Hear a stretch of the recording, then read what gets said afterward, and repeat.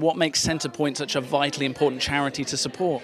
Well, I mean, every young person you know, deserves a good start in life, you know. And uh, if you're you're struggling on the streets and stuff like that, that's what you know. It's that's a, that's a terrible start in life, isn't it? I mean, and I don't know how you overcome that. So any, anything that helps people in that situation is, has got to be great. And you know, here we are in 2015, living in one, a rich capital city, and there's still people out on the streets. It's ridiculous, you know, it's absolutely ridiculous. So you know, well done, Centrepoint, for helping people, bringing bringing attention to it as well.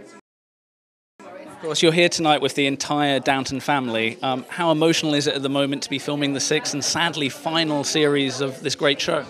Well, it's uh, yeah. As we get closer to the to the end, uh, it's getting more emotional. We shall miss it a lot, uh, but uh, it's time to move on. You know, life life has to move on, so that's fine.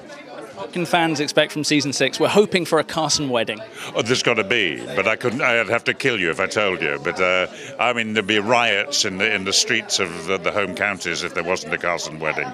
But more than that, I will not say. Why do you think fans seem to adore Carson in particular so much? Because he's such a stoic figure, but fans seem to have really warmed to him over the years. I can't. How can I answer that?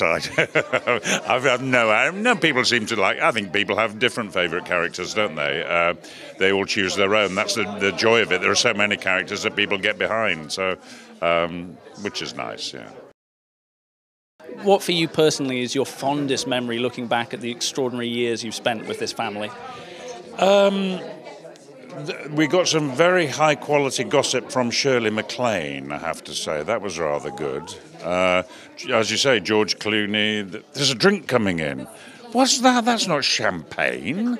What do you think? I'm no, that's very nice. That's very kind of you. That was on that was on camera, wasn't it? Um, yeah, I mean George Clooney, Terry, Kiri Te Kanawa, uh, Shirley MacLaine, Maggie Smith, all highlights.